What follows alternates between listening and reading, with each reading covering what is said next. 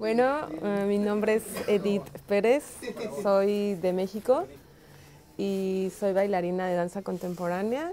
Em, estoy trabajando en una compañía que se llama CEPRODAC, que es un proyecto de México, de, subsidiado por el FONCA, que es el Fondo Nacional para Cultura y las Artes. Eh, y también me gusta hacer graffiti, desde hace mucho tiempo que lo practico. Y mi nombre pues de graffiti es Dita.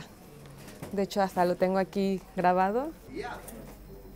Y pues nada, pues también, no sé, mi país es tan contrastante, tan, es tan, tan bello, pero a la vez tan trágico, tan, tan o sea, la, gente es muy, muy, muy chida, muy buena onda, muy, muy eh, amigable y este, pero también pues yo creo que lo que le, falta también a mi país es políticamente pues crecer también, vivimos como una dictadura, ahorita estamos en guerra, eh, entre comillas, ¿no? Obviamente no, no estamos en guerra, pero digamos que pues amanecen en mi país de repente muertos, encobijados y con cabezas degolladas y últimamente se ha expandido un poco más.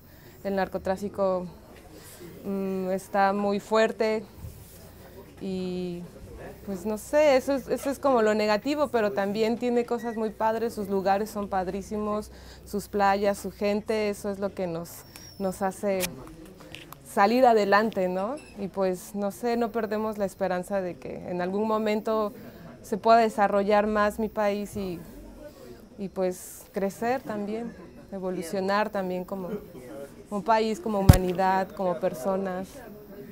Y pues ya, amor y paz. Ah.